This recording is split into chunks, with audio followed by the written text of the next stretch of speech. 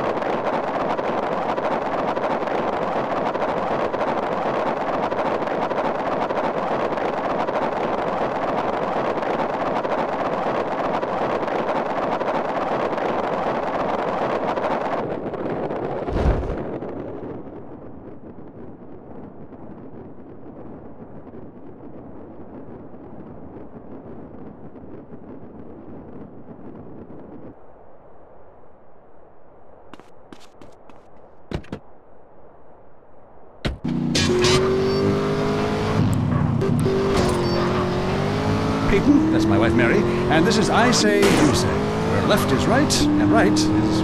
Or where east meets west, and the west always wins. That wall came down, darling. Yes, unfortunately it did. I, I don't know if you saw today's news, so who is in the right in this great dialectical disaster? Is it, as I think, the case of share and share alike?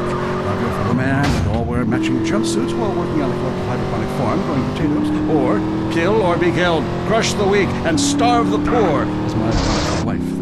You decide, or let us decide for you. Give us a call and let my wife, a professor in social Darwinism, or me, a lecturer in pointless anthropology, work things out. That's the problem with liberals. They don't know when to shut up and enjoy freedom. Let's go to the phones. Uh, yeah, hi. Here's the deal. I'm really funny. Nobody wants to hire somebody funny. I, I mean, how is that fair? I, I mean, I'm white, middle class, very erudite, um, you know, whatever that means. But people just to me. I, I don't understand it. Are you related to my husband? Um, I, I don't think so. I hope not. We've got a question about politics. Yeah, sure. I know a lot about politics. Hey, can I do your job? You know, I used to be on the radio back in the day. Even my husband can't do his job, you strange, pathetic little sap. Let's have a real caller, please. Hi, my name's Michelle. I'm a first-time caller to the show. I wanted to know what you guys thought about the proposition to ban smoking? Well, this is a simple issue. Smoking. Democracy at work again in our state. Seems like a good thing when you first look at it, but democracy only works when you agree with it. Then it's best to favor a totalitarian state. I'm not sure about this one. I think smoking is an invasion of my body, and I've always wanted to shoot people. I'm right behind the proposition. Me too. Thanks, Michelle. I also wanted to say hi to my stepbrother Phil, who's been undergoing a hair transplant today. Hey Phil, if you're listening, I hope it sticks this time. I won't tell anyone you've got. pl-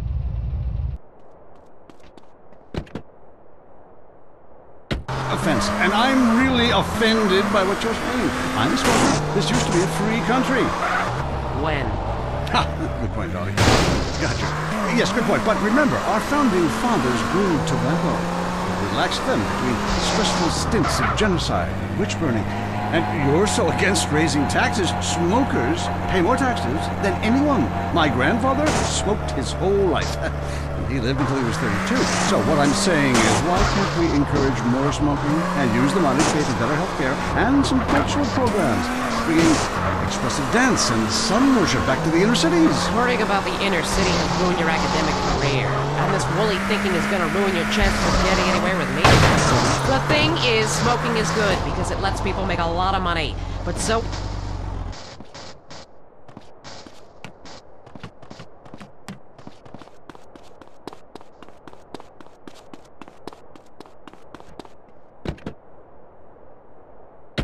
Line two, you're on I Say You Say. Ah, I listen every time to your show. Really made me think about the world a whole new way. I moved out of the city because it sucks. Now I live in a compound surrounded by barbed wire and shoot and kill anyone I don't recognize on my land. Just want to say thank you. That's quality broadcasting. Yeah, thanks. That makes me feel a lot better about myself. Have you got a question? Yeah, I got corpses from 15 illegal immigrants in my yard. I killed them all myself with my bare hands. Can I get a tax break for all this unpaid work? Good question. I would certainly hope so. Ask your accountant if you can register them as dependents. Then hide most of your net worth offshore in a complex money laundering system designed to support the drugs trade. Then you can pay virtually no taxes and complain about how awful you think the whole country is, knowing you're doing as little as possible to help. Cool, thanks. That's good advice.